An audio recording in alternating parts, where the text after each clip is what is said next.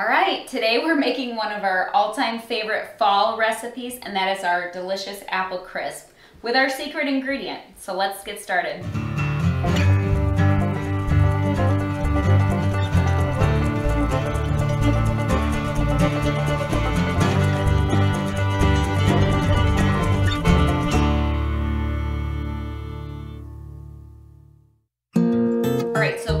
Get started on any of the recipe or the secret ingredient, I need Julianne. She's gonna help me uh, peel and core all of the apples that we need. So she's gonna be my, my assistant. You're gonna see her working on the side here. Thank you for helping me. It goes faster when you have two people helping. Okay, so for this recipe, because we're a large family, we're doing a 9 by 13. So obviously, you can have this recipe, but we don't need to here. We're gonna eat this all. So, all right, you can get started. I'm peeling and coring. She's gonna peel and core between eight and 10 apples for a nine by 13, okay? It obviously depends on the size of, of your apples, but today we have pretty good size, large Honey Crisp apples. Um, I know everybody has their opinion on what kind of apple they like to use the best, but we are big fans of Honey Crisp around here. So that's what we're gonna use today for this recipe.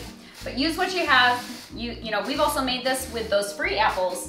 Um, mm-hmm. you guys saw our video, you know, the, the four ways to put up apples that are free apples that weren't like the sweetest, but it still made the best apple crisp. So you guys gotta try this recipe out. Okay, so while Jules is doing that, I'm gonna work on the crumble. I have my 9, 9 by 13 pan and it is already buttered and my oven is already set at 375 degrees uh, and it's preheating, okay? All right, so for our crumble, I'm gonna start with two and a fourth cups of brown sugar. I'm gonna pack it.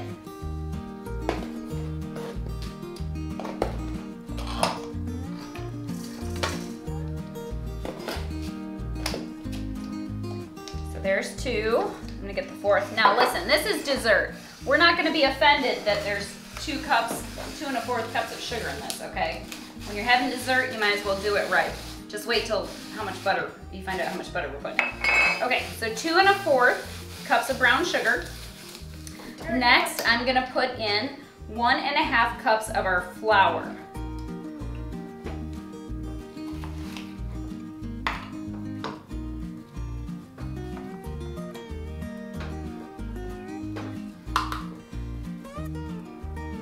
Okay, one and a half cups of flour.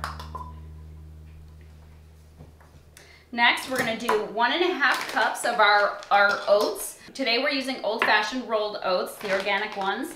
Um, you can use other kinds depending on what you have. Like the instant rolled. Yeah, you can use, in this in this recipe, you can use the instant oats if you want to.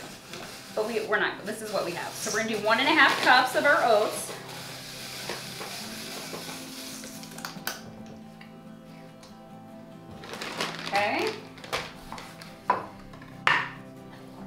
We are going to do two teaspoons of our ground cinnamon. Of course, you have to get all those awesome spices for this time of year. Okay, so two teaspoons.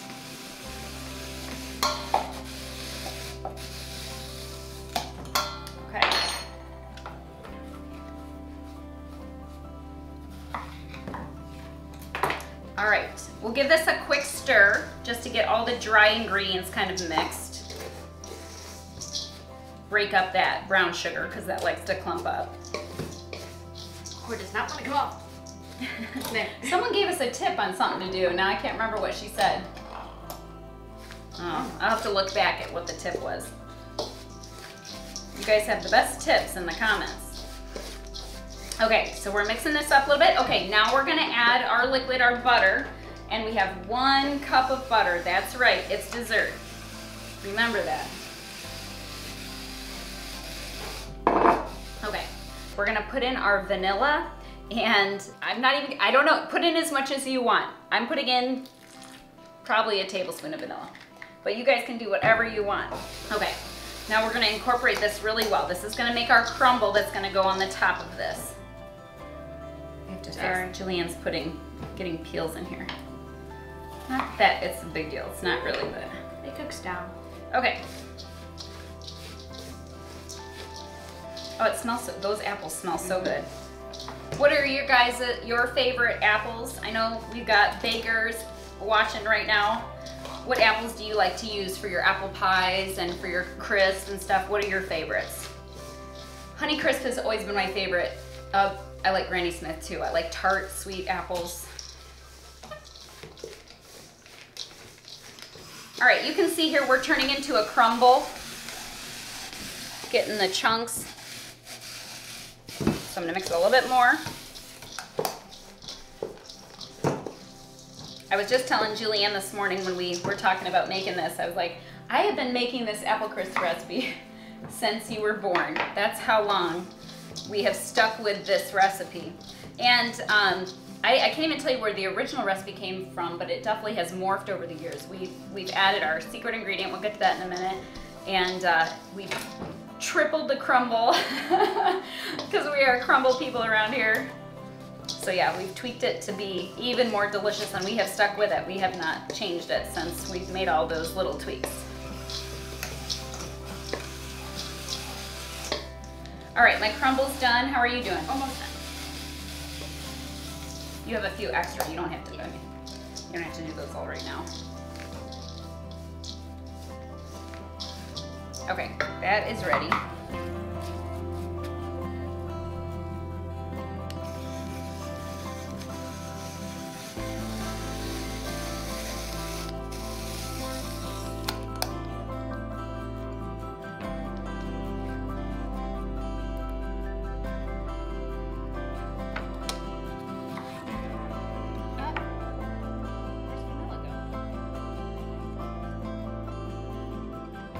Okay, so just in case anyone is uh, interested in knowing, I know you guys have asked before in our other Apple video, which we could probably put up, um, put a link right here for that. But um, this is our apple peeler that we got from Rural King. We have had several over the years, and I think we've gotten we've gotten them at Walmart. We've gotten them off of Amazon.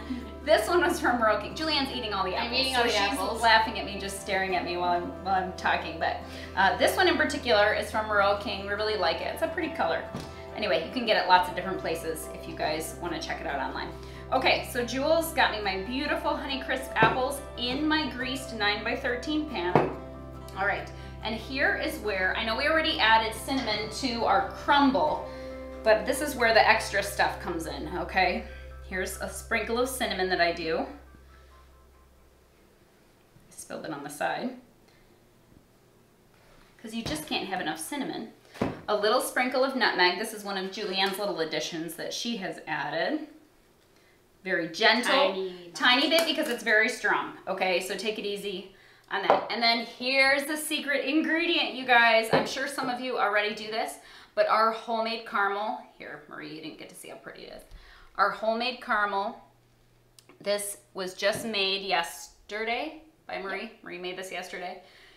Uh, we actually sell this in our farm shop here on site. Sorry guys, it's not a part of the online store. Maybe someday, but not yet. So uh, yeah, you can, you can check out the website for other things, but not for the homemade caramel.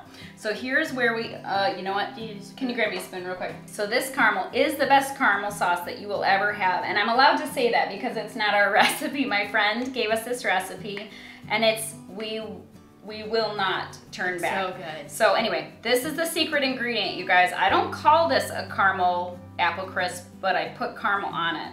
And it's just a drizzle over the top before I put the crumble. And it's like you can't tell that there's caramel in it, but you can just tell that there's something awesome in it. And then this is what it is. So we put this on top, drizzle it around.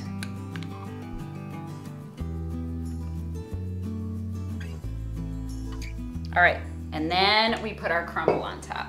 If you guys are interested in this caramel recipe, I'm sure my friend would let me show you guys how to make it. We'll see. Let me know if you're interested in it in the comments. All right, now comes the crumble. The huge amount of caramel because it's so good. But it, seriously, if you're having dessert, it might as well be delicious. All right, we're gonna make sure our entire top is covered with a nice layer of the crumble.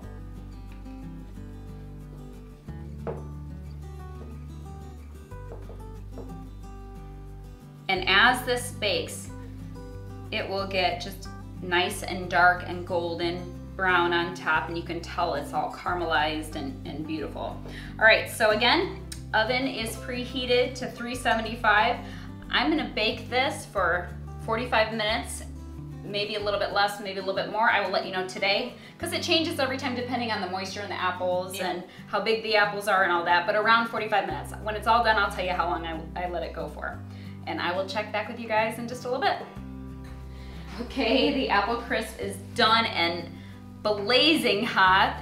I left it in for 50 minutes. I checked it at 45 and I was like, eh, I can go a little bit longer. But if you see here, hopefully the lighting is okay, but you can see the beautiful caramel edges and the bubbles and the uh, like the caramel coming up and the butter caramelizing and all that deliciousness.